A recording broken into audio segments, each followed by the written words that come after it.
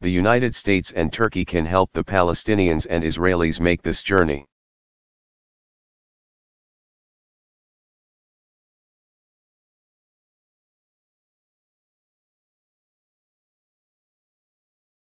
Like the United States, Turkey has been a friend and partner in Israel's quest for security.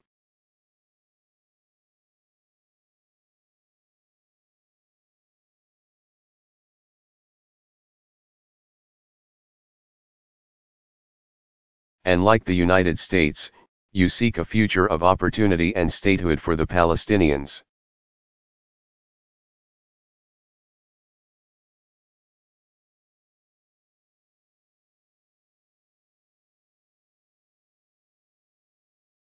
So now, working together, we must not give into pessimism and mistrust.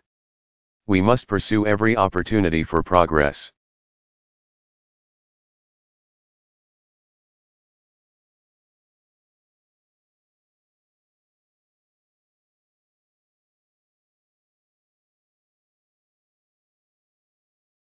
As you've done by supporting negotiations between Syria and Israel.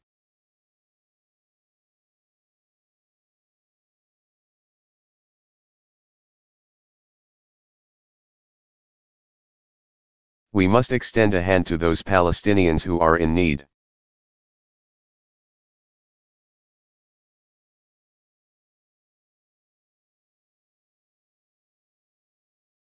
While helping them strengthen their own institutions.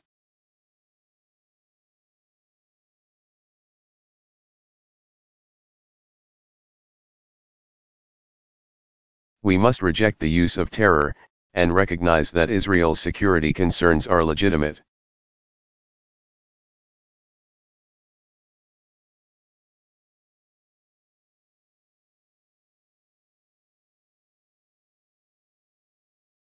The peace of the region will also be advanced if Iran foregoes any nuclear weapons ambitions.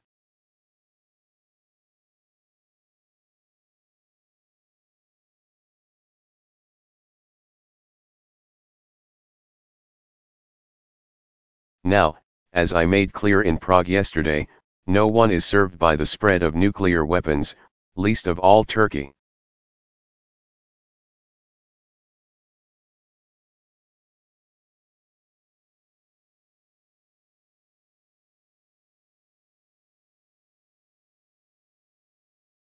You live in a difficult region and a nuclear arm race would not serve the security of this nation well.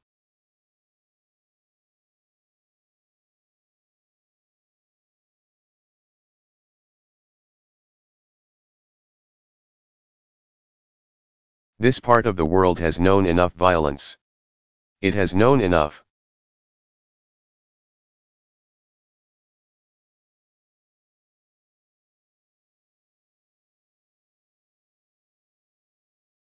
Hatred. It does not need a race for an ever more powerful tool of destruction.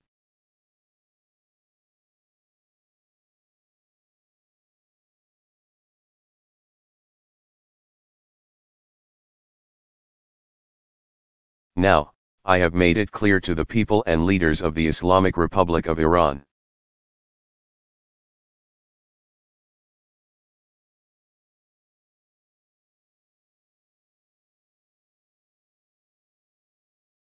That the United States seeks engagement based on mutual interest and mutual respect.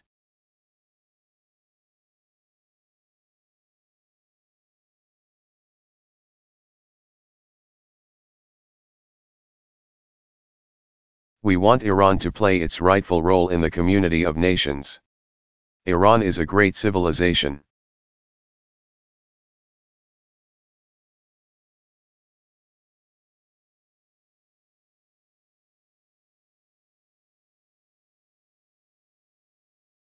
We want them to engage in the economic and political integration that brings prosperity and security.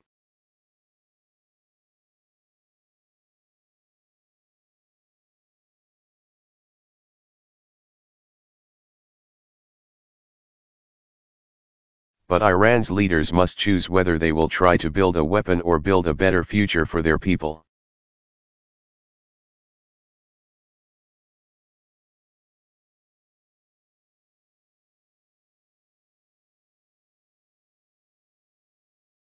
So both Turkey and the United States support a secure end.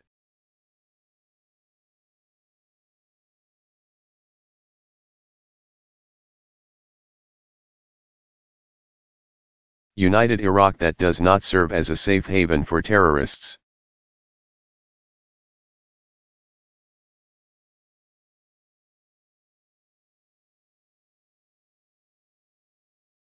I know there were differences about whether to go to war.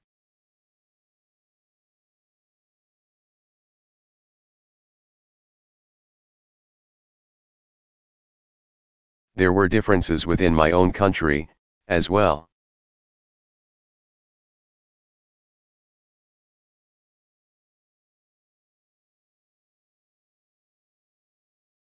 But now we must come together as we end this war responsibly.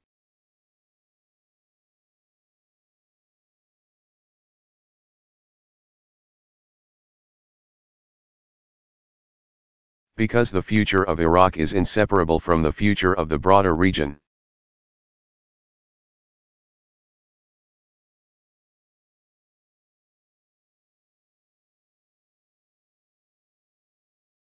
As I've already announced, and many of you are aware, the United States will remove our combat brigades by the end of next August.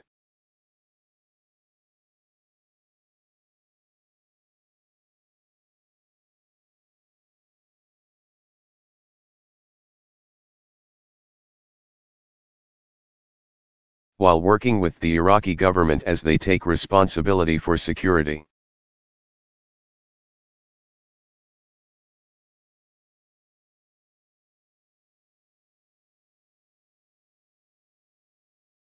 and we will work with Iraq, Turkey, and all Iraq's neighbors.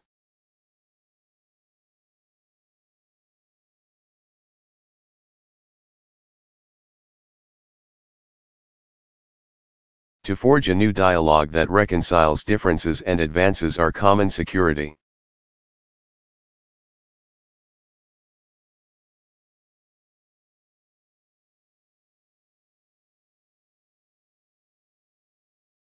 Make no mistake, though, Iraq, Turkey, and the United States face a common threat from terrorism.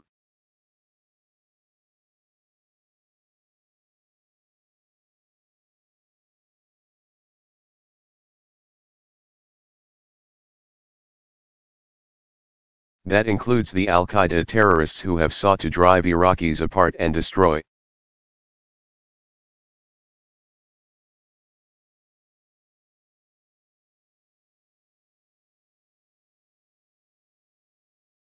their country.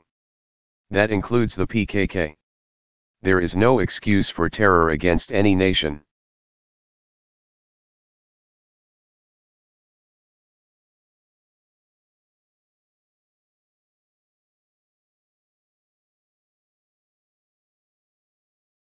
As president, and as a NATO ally.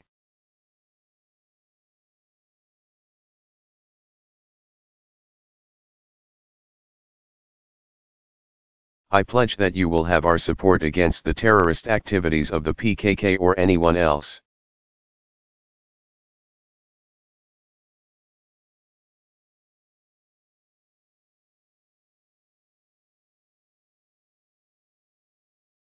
These efforts will be strengthened by the continued work to build ties of cooperation between Turkey,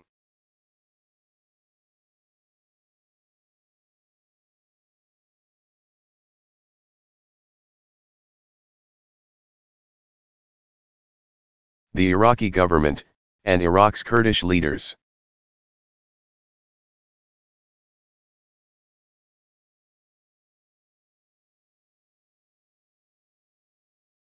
And by your continued efforts to promote education and opportunity and democracy for the Kurdish population here inside Turkey.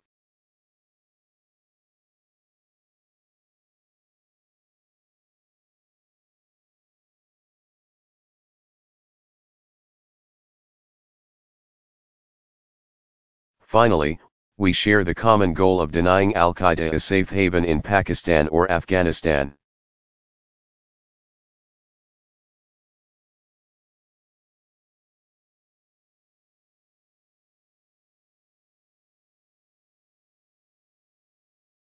The world has come too far to let this region backslide, and to let Al-Qaeda terrorists plot further attacks.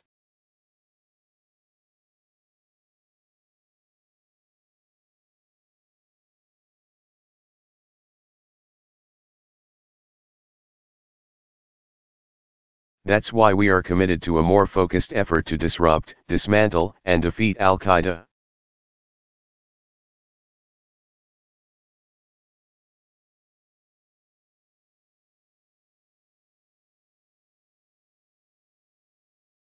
That is why we are increasing our efforts to train Afghans to sustain their own security.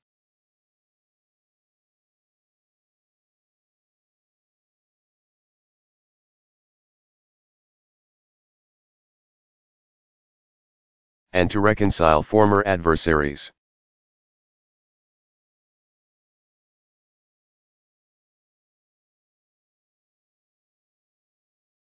That's why we are increasing our support for the people of Afghanistan and Pakistan.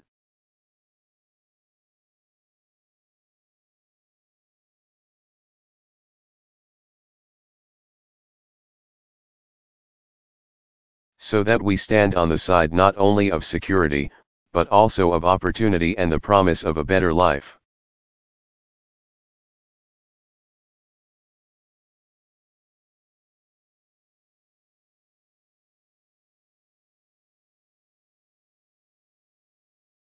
Turkey has been a true partner.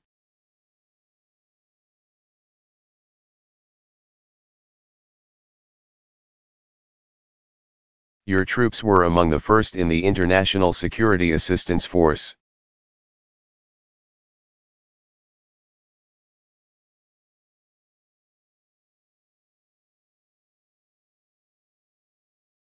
You have sacrificed much in this endeavor.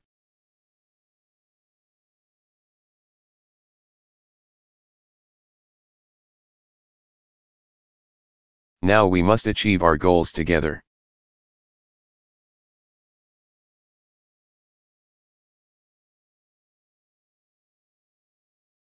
I appreciate that you've offered to help us train and support Afghan security forces.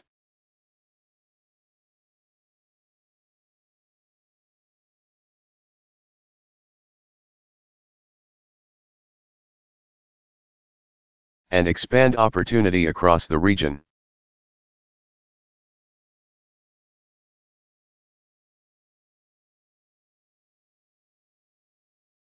Together, we can rise to meet this challenge like we have so many before.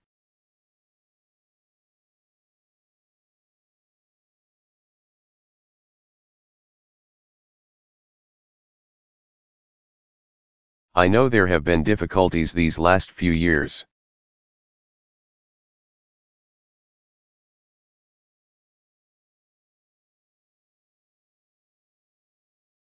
I know that the trust that binds the United States and Turkey has been strained.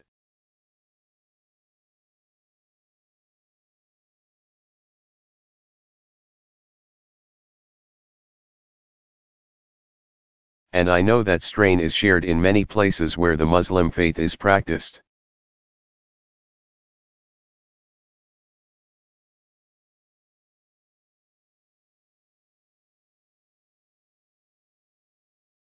So let me say this as clearly as I can, the United States is not, and will never be, at war with Islam.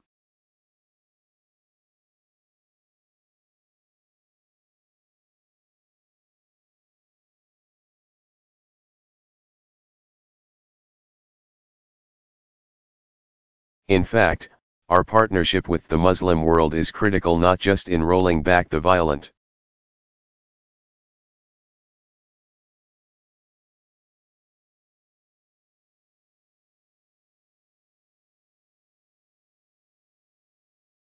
ideologies that people of all faiths reject, but also to strengthen opportunity for all its people.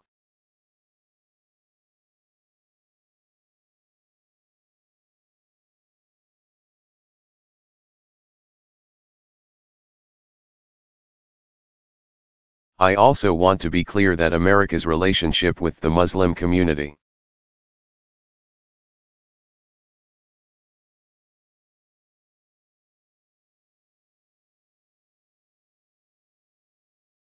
The Muslim world, cannot, and will not, just be based upon opposition to terrorism.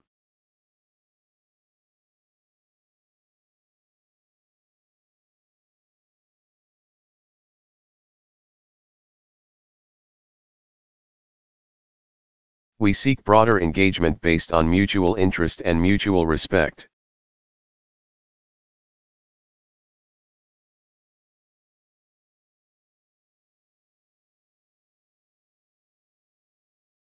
We will listen carefully, we will bridge misunderstandings, and we will seek common ground.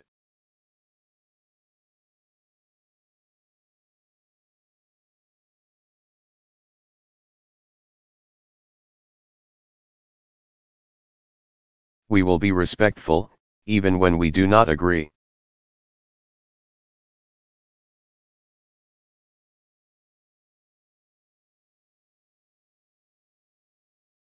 We will convey our deep appreciation for the Islamic faith.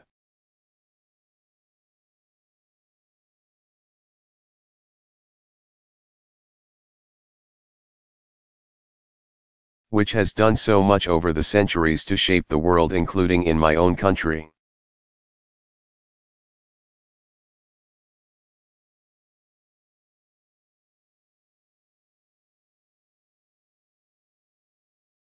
The United States has been enriched by Muslim Americans.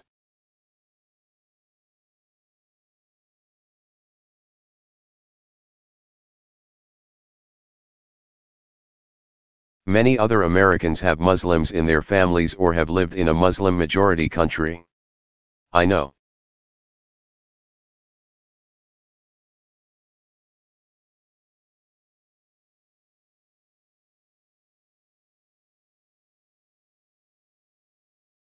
Because I am one of them.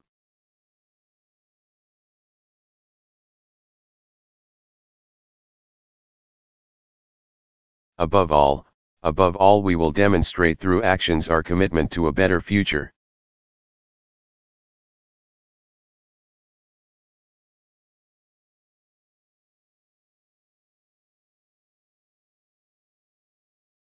I want to help more children get the education that they need to succeed.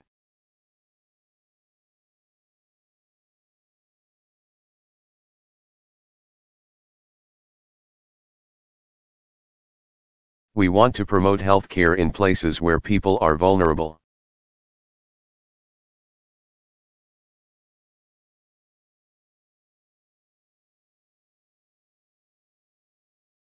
We want to expand the trade and investment that can bring prosperity for all people.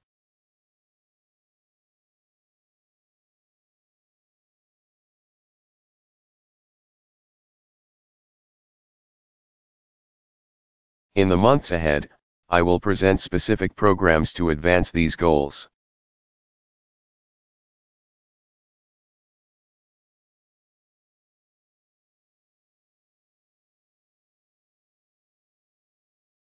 Our focus will be on what we can do, in partnership with people across the Muslim world.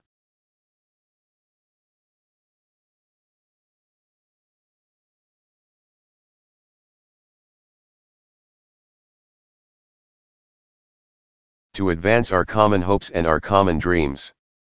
And when people look back on this time,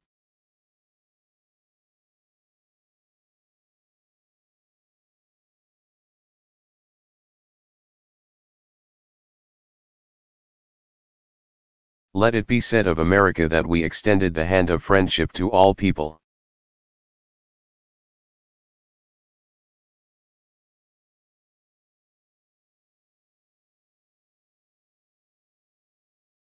There's an old Turkish proverb, you cannot put out fire with flames.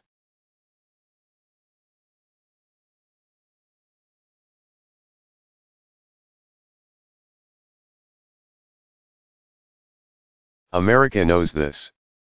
Turkey knows this. There's some who must be met by force, they will not compromise.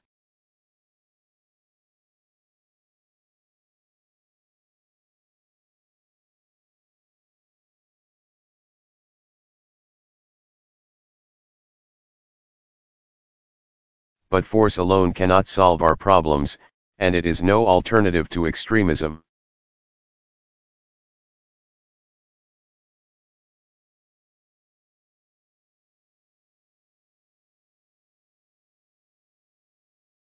The future must belong to those who create, not those who destroy.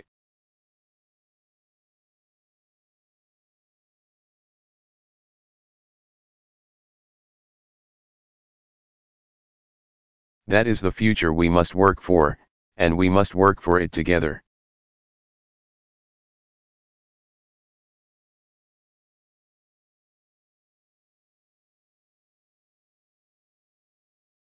I know there are those who like to debate Turkey's future.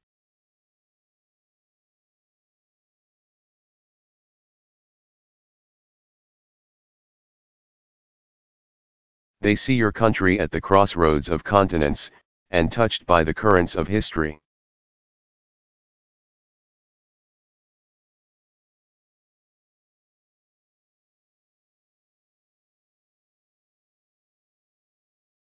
They know that this has been a place where civilizations meet, and different peoples come together.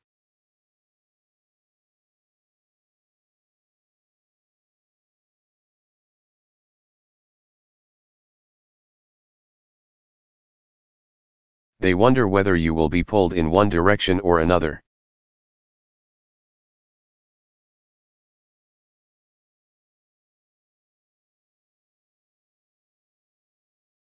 But I believe here is what they don't understand.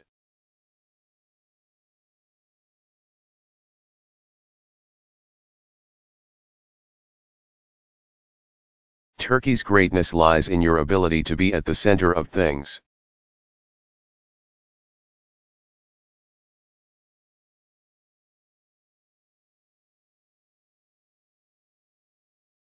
This is not where East and West divide this is where they come together.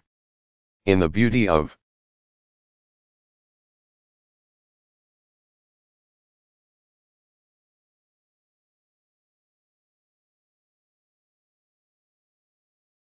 your culture. In the richness of your history. In the strength of your democracy. In your hopes.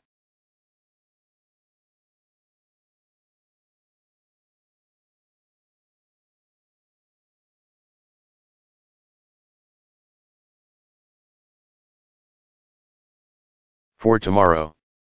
I am honored to stand here with you to look forward to the future that we must.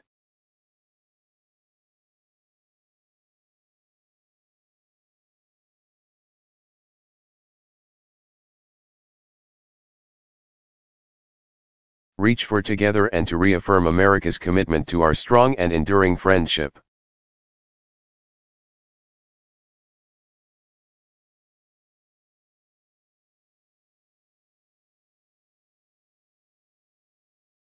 Thank you very much.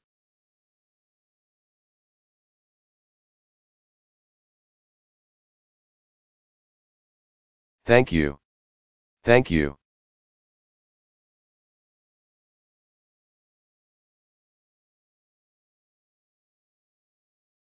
Barack Obama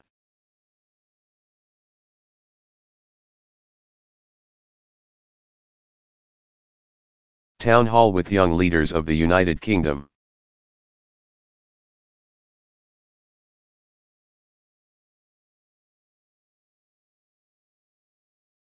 Delivered April 23, 2016, Lindley Hall, Royal Horticulture Halls, London, England.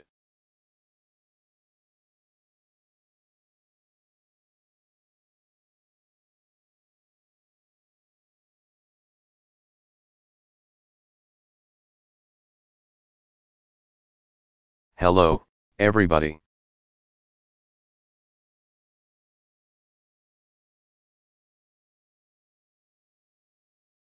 Thank you so much. Thank you, everybody. Have a seat. Have a seat. Well, hello.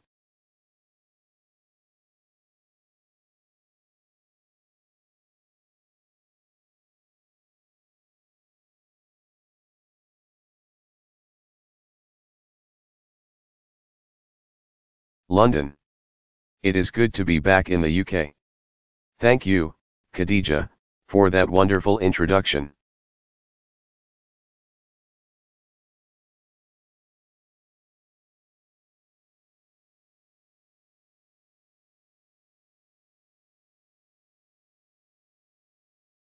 I was saying backstage I'd vote for her for something.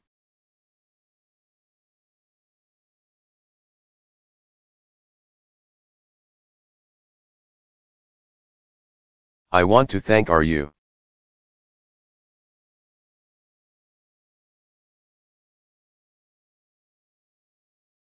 S. Ambassador, Matthew Barzun, for all the great work that he's doing.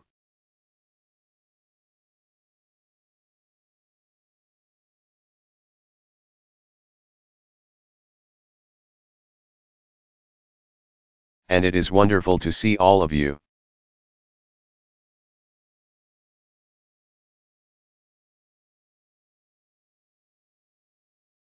I guess you all know why I came this week. It's no secret. Nothing was going.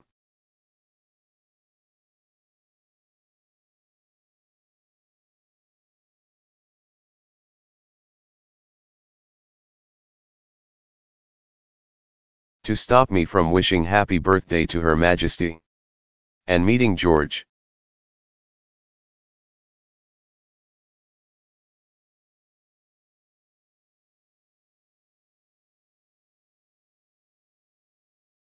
I also just came from touring Shakespeare's Globe which is a good way to start your Saturday morning.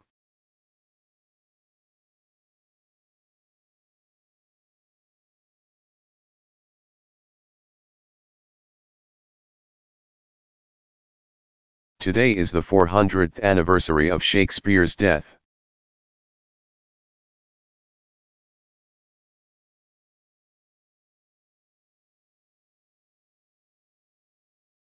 And as he once wrote, brevity is the soul of wit.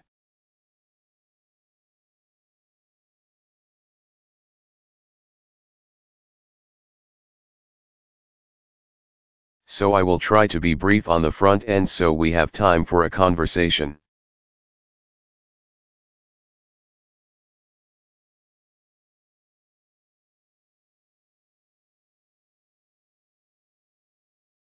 These are some of the favorite things that I do when I travel around the world.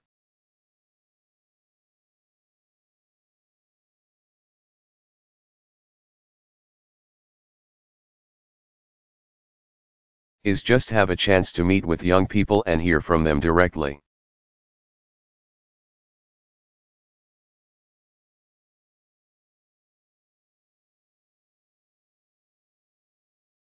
It's inspiring to me. It gives me new ideas and I think underscores the degree to which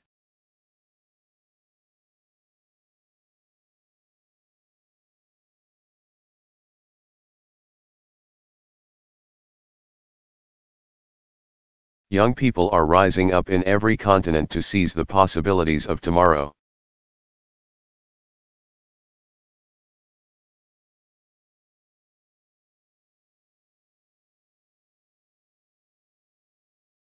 Now, whenever I get together with leaders of the United States and UK.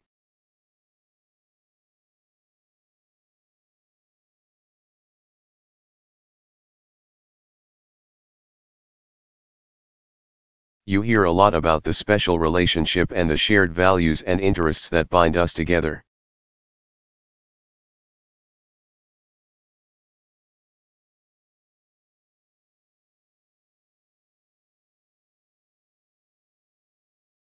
And the ways that our cooperation makes the world safer and more secure, and a more just and prosperous place.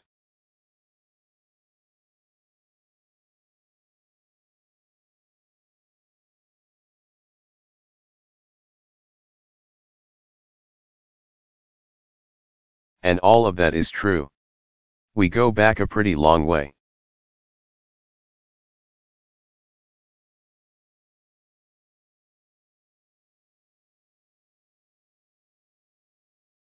The UK and the US. We've had our quarrels. There was that whole tea incident and and the British burned my house down.